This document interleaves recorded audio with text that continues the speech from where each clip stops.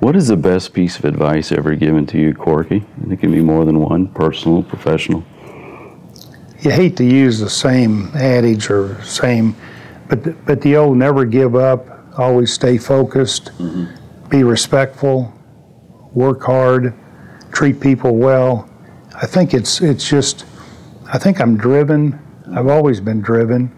I, even though I tried to retire, it didn't work out. Not going to work out. At least you're honest. Yeah, so I think I, you, I, I'm I'm driven, and I I know I know what I want to go after, but I want to do it in the right manner, mm-hmm. and that's I just I like I like doing business, but I but I I've been around a long time, and I see how business is conducted.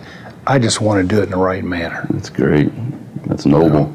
You know, trying.